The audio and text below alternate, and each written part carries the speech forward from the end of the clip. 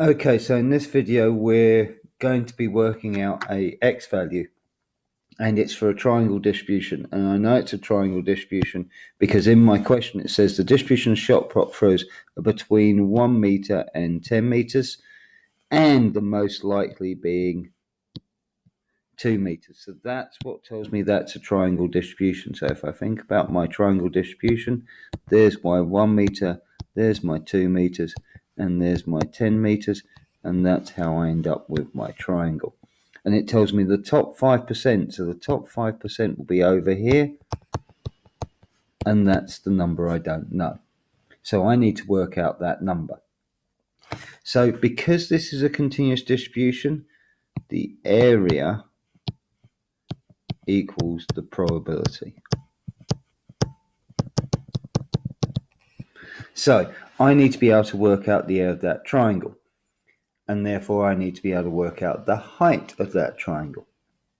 Now, you can do this a number of different ways, but the most easy way, and I've got it already set up here, is the distribution they give to you on the formula sheet. So here is the information about my triangle distribution. And because the value I'm trying to find is over here, it's on the left, right hand side of my mode, I need to be using the formula that's on the right hand side of the mode, which is this one. So that's the dish formula that I'm going to use. So I'm going to say that the height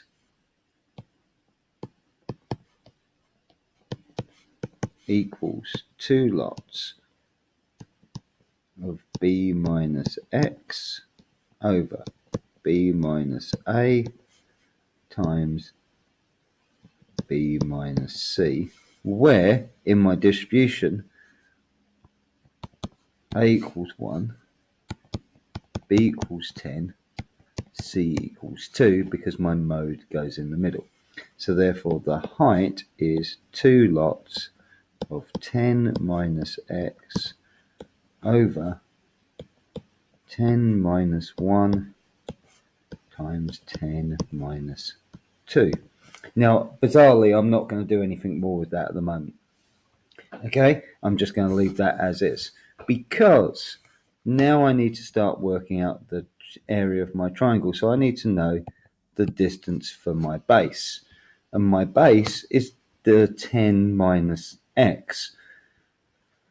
So therefore the area of my triangle is a half base times height well the half is going to stay the base is 10 minus x and just because I'm being careful I'm going to put that in brackets and then I've got my height which is two lots of 10 minus x over 10 minus 1 times 10 minus 2.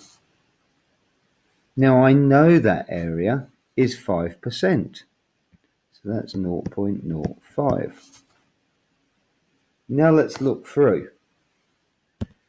I've got a half here and then I'm timesing by 2. So therefore those bits are going to cancel out.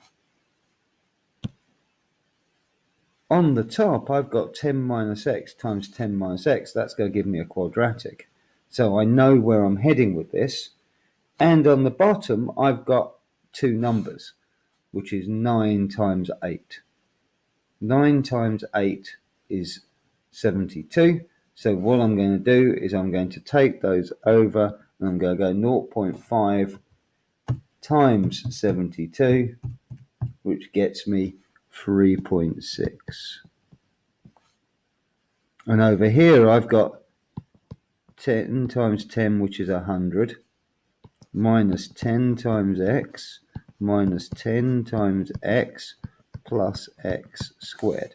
Now that's a quadratic equation. So I've got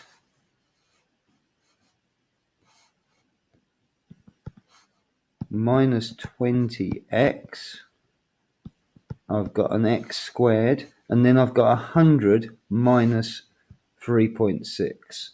So 100 minus 3.6 is 96.4 equals 0. So that's my quadratic equation. Now I'm unlikely to be able to solve that using uh, factorized because of the numbers. The 94 point or 96.4 is not going to factorize very easily. So I'm going to use my graphics calculator and I'm going to go menu. I'm going to go equation, which is on the second row, number eight on the latest version of the graphics calculator. I'm going to press polynomial, which is on F2.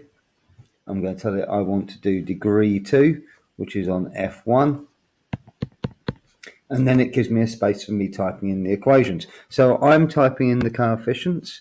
So I've got 1x squared minus 20x plus 96.4. So that's 1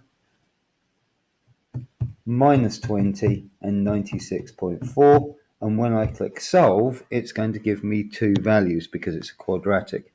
So my two values are x equals 11.8